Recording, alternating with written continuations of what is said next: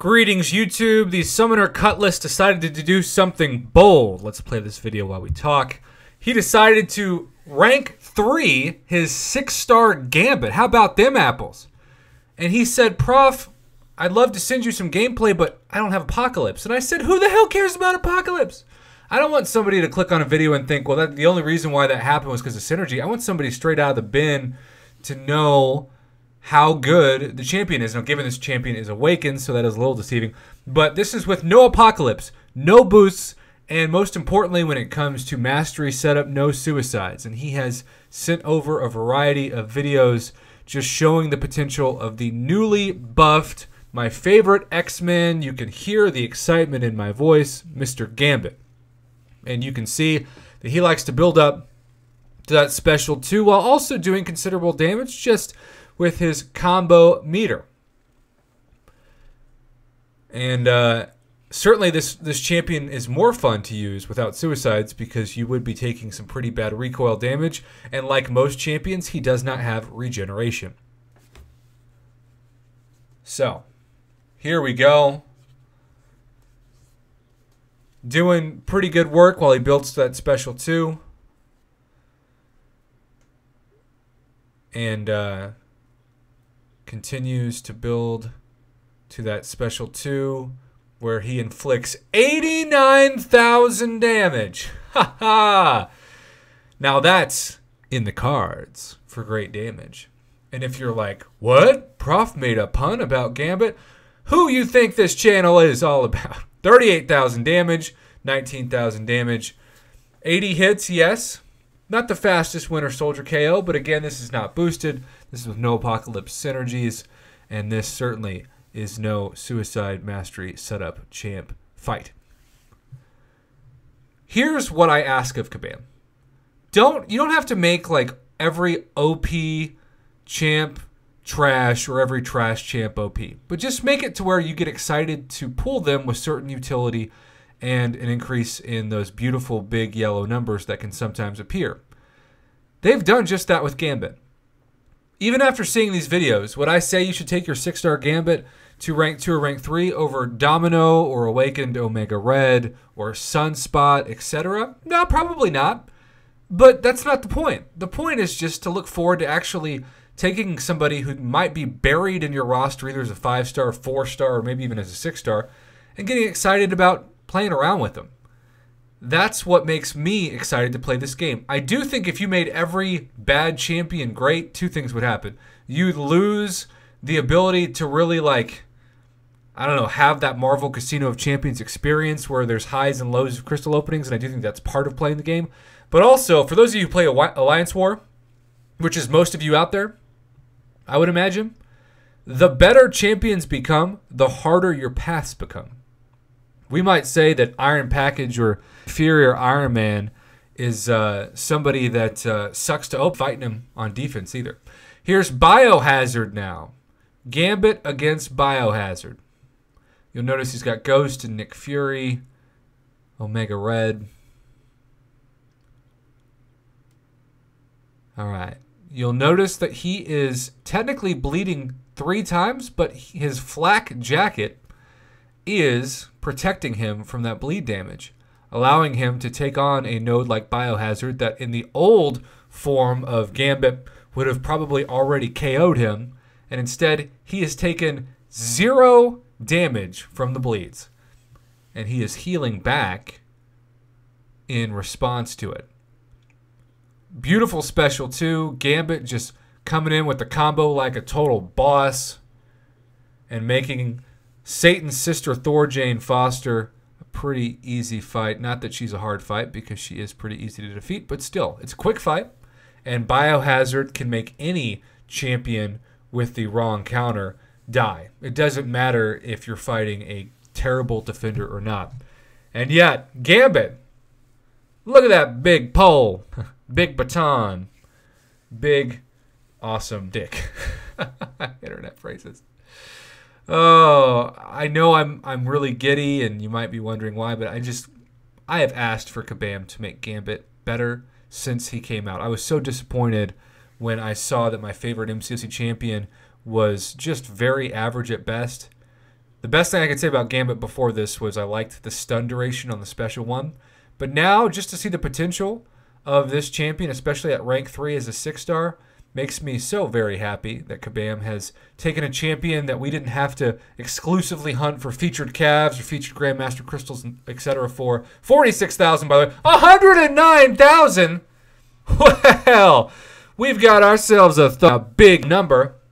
Now we've got Biohazard Bloodletting against everybody's favorite Nightcrawler, which with that new Immortal Abomination, if, if he's crawling at night for you, good luck with that.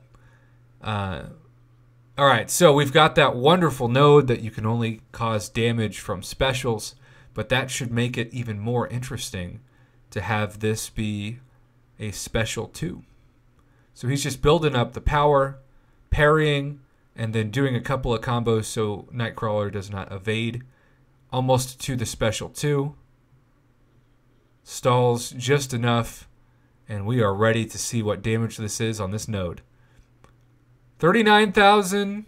Was that 91,000? There wasn't a yellow number, so he got kind of unlucky on the crit.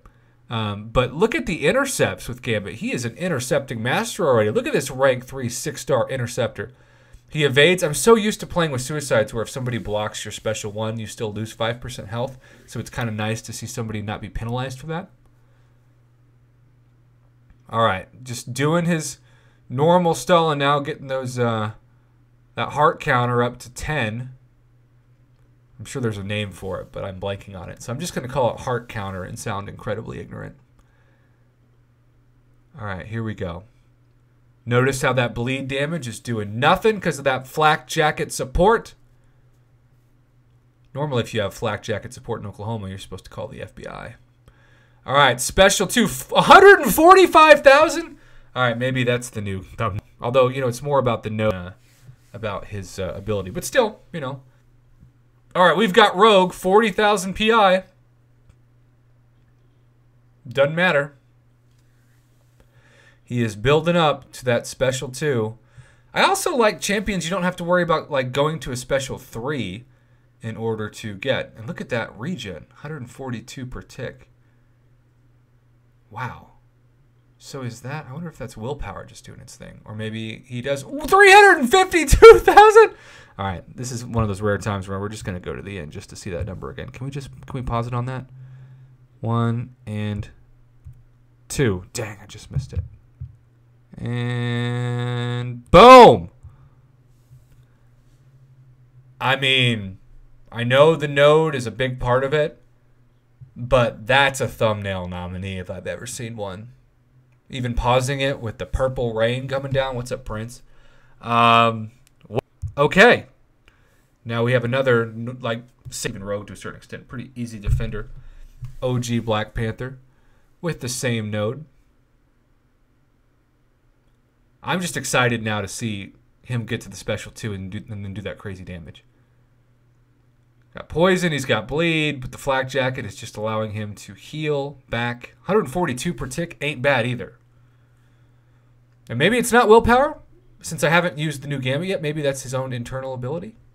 And if so, uh, sorry for sounding like an ignorant idiot. But here's a special two 47,000 damage, 379 again. The Book of Luke trapped in a cage. Thank you again to uh, Mr. Cutless for all of the videos. He worked really hard on uh, the submission series so that people could really get an idea of whether or not they should take their Gambit to rank 3. And you can see with the right node combination, especially with that BS biohazard uh, combined with the uh, power shield, this is allowing him to be so OP and to finish off these fights, which would normally take even God tier or beyond God tier champs, I don't know, maybe two, three minutes to last about 45 seconds, maybe even 30 seconds, depending on the counter. All right, Baits the special one. And as we've said all along in this, it's just get to that special two. Now, you don't want him to be indestructible. He no longer is. So, parry, heavy. And then let's check out that special two.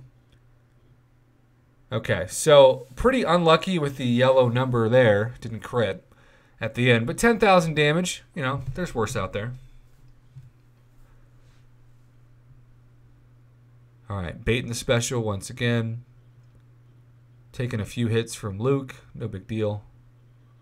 Building up to the 10 heart charges, as I am sort of ignorantly naming.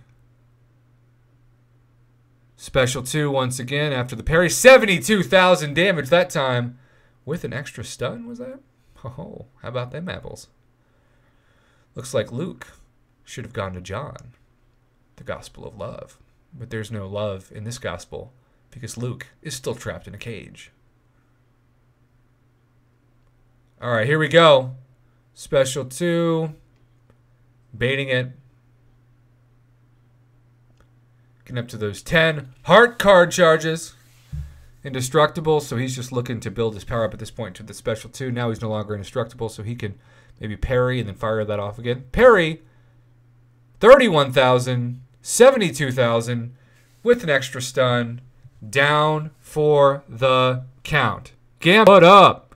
All right, now we have a Black Widow Clairvoyant with a special cornered clapback.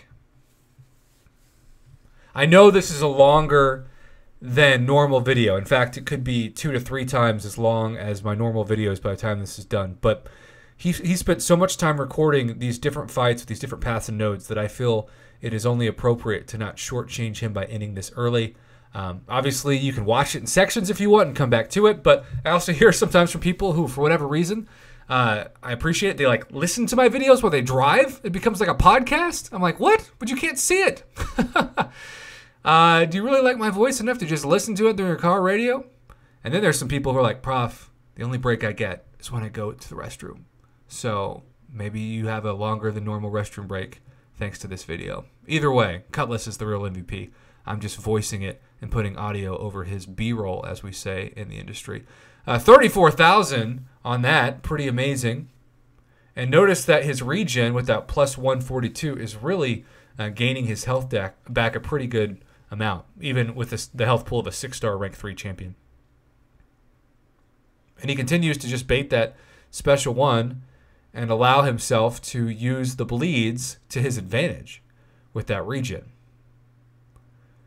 Got the heavy attack. We know by this point it's all about the special two, a 30,000. Interesting how that first part of the special two is actually higher because he did not get it to crit, but that's okay. He's now got Black Widow Clairvoyant in a corner. 31,000 on that final animation, the special one. Truly incredible. This is just a ton of fun to watch. And uh, again, I'm not saying that you should for sure take your Gambit to rank 2 or rank 3. Maybe you also want to wait to have him awakened. But this is making for another argument why if you say you say you take the mutant option for the abyss exploration crystal and you get gambit not a bad option. Whereas before, maybe you were thinking, I've got to land on red mags, or I've got to land on domino, or I've got to land on uh, omega red. And every time there's a mutant champion that gets buffed, that also increases the value of that class based nexus. All right, let's skip ahead. Okay, we are finally reached the point to end the videos. Thank you again, Cutless. Huge shout outs to everything you did to send this along. I hope I did your videos justice in this commentary. I'm sorry if I uh, misspoke on any uh, ignorance of fights or nodes, but there's a lot to keep track of, and I did not want to uh, stall there you have it, YouTube. Thanks again so much for uh, for those of you that watched every second of this 14 minute video. It's much longer than usual, but hopefully you agree that it was worth it, especially given the amount of fights and nodes that were highlighted in this crystal opening commentary submission, minus the crystal opening plus the commentary.